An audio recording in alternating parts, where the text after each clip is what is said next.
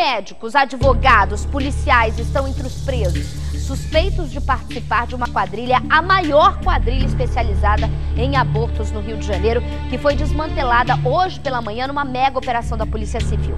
A nossa equipe já sabia dessa operação e acompanhou desde o começo da madrugada toda a movimentação dos policiais.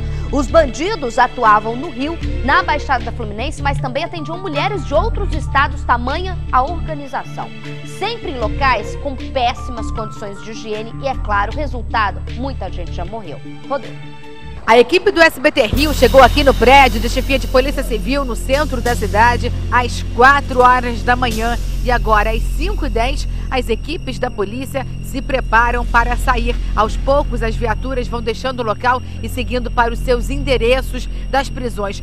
70 delegados e 430 agentes se dividiram em 150 viaturas para cumprir 75 mandados de prisão e 118 mandados de busca e apreensão.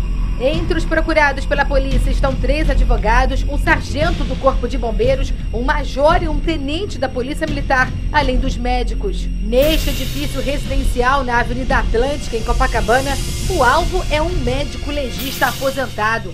Às 6 horas da manhã, os policiais subiram para o terceiro andar e lá permaneceram uma hora e meia. O médico está saindo agora do edifício residencial na Avenida Atlântica, em Copacabana, acompanhado da delegada e de mais três policiais civis.